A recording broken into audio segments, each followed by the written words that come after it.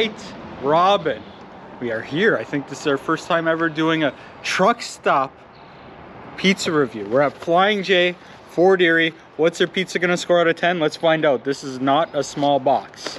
$19.20. Holy moly. This is not what I was expecting. Crust? I don't know what it is. This is not what I was expecting from a truck stop pizza. Look at this craziness. Craziest crust we've ever seen? I, I'd I, so, yeah. I think so.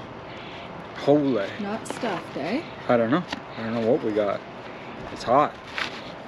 They got a lot of pep there. Okay. Let's see.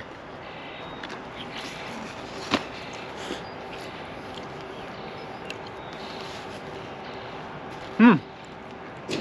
It's burning my hand, but not my mouth. Super bready. Looks like a Pillsbury. What are those called? The Pillsbury rolls? Mm-hmm. I gotta try this thing.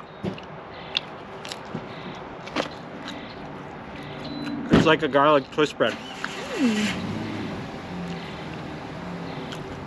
That's, it's got some garlic, some happenings there.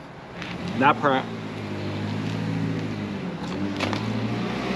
Crust is the best part. Trying to think what kind of dip would go good with that. Really? Mm. Blue cheese.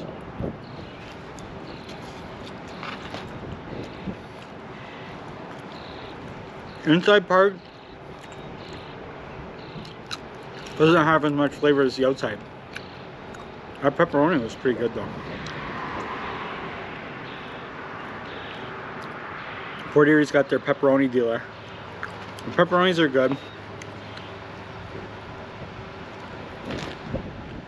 It's a little bit,